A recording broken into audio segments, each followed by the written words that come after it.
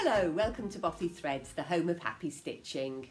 In this video, we're going to look at tapestries, Some of our kits are suitable for pictures. but the majority are designed with cushions in mind. Let's take a look inside this poppy field tapestry kit. On the first page of your instructions, there is a table that lists the tapestry wool colours and their symbols. Inside contains detailed instructions how to complete your design. The picture is full colour printed on a tapestry canvas. We use a 10 or a 12 count canvas. This is 10, which means the holes are slightly larger. You can work your design just from this colour picture here. But we do also include a chart, which you may like to refer to for more detailed areas. In fact, some people prefer to work purely from a chart, in which case you can turn your canvas over and work on the blank side. Often, the main background colour is provided as a hank. Wool is also provided in skeins and sorted on a thread card. You may have some empty holes on your thread card where the colour has been provided as a skein, or you may have a skein of a colour with extra lengths on this card. Finally, you may have some stranded cotton to add any extra backstitch detailing. This is our William Morris Strawberry Thief design, which is worked on a slightly finer 12 count canvas. We recommend that you use some type of frame to work your design. This is a scroll or roller frame and there are bands of webbing going across the top and bottom. Simply take a strong thread, tie a knot in the end and work large running stitches across each edge. It's really important to correctly attach it as it is done here because you'll see that as you roll it up the design is inside the rollers and protected. Otherwise it would go over the top and would rub as you were stitching. It's a good idea to work the picture first and then add the background. It's also preferable to work the paler colours first. So let's start right in the middle with this flower here. It's a really good idea to add snippets of wool to the colour blocks down the side of your design. It helps greatly when you're trying to identify which colour to use. So, here we are. Tighten up our wing nuts. Get the canvas nice and taut and off we go. In your instructions you'll see there are two different techniques of starting off and two different ways of working your tapestry. Here we're going to use the knot method to start off. You just tie a knot in the end and then decide where you're going to want to start stitching. Count back about an inch along and then come down from the front to the back here and pull your wool through so you're left with the knot on the front and then you can start stitching. Here we're using the half cross stitch which is exactly the same as working in cross stitch just working the first diagonal. On the back it leaves a small vertical stitch. As you see we have two white stitches and then the colour on the canvas shows we need to use a salmon wool so we'll just leave a gap here of one stitch before carrying on with the white.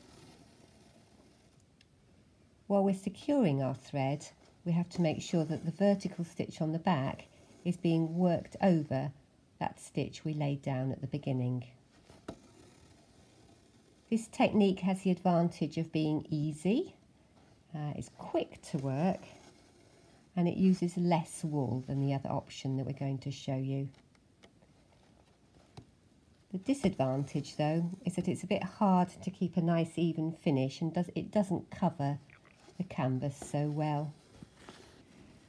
Also it's not nearly so hard wearing so it's not really suitable for cushions or upholstery but would work fine for a picture.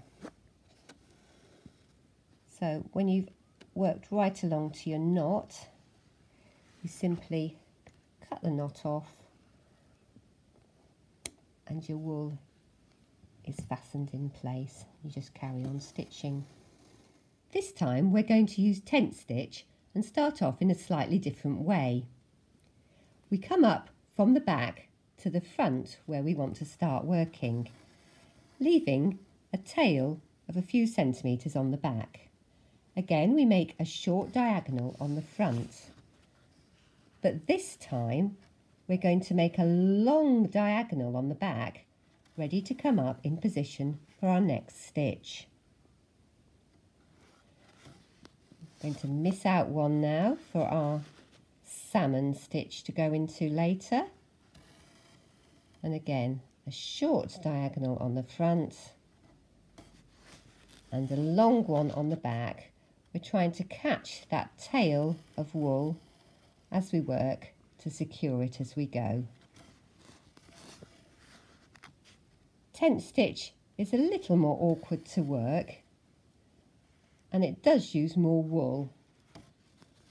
There's plenty in the kit to allow for this however. It gives a better coverage to the canvas and is more suitable for cushions and upholstery. When you're getting towards the end of a piece of wool, simply go through to the back and on the back of the canvas run it through a few of the stitches to secure it and cut the end off really short.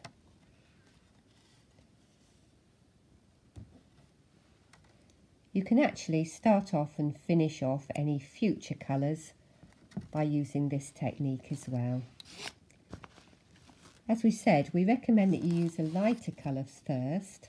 So here we could work the white and then we could work the salmon, but we'd avoid working the background navy because there's a danger otherwise that you might draw some fibres from the navy into the paler colour walls, which wouldn't look good.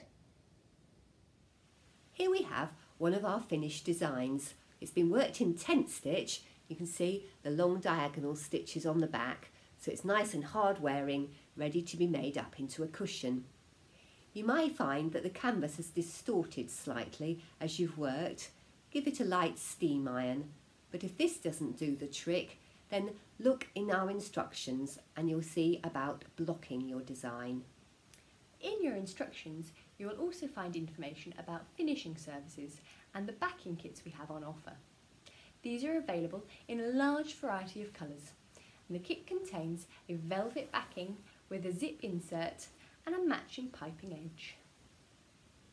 So, whether you want to complement your shabby chic style or exude an air of classical elegance, we have the cushion for you. Happy stitching! If you have any questions, please get in touch. You can give us a ring or send us an email. We also have a very friendly Facebook group where you can share your stitching stories.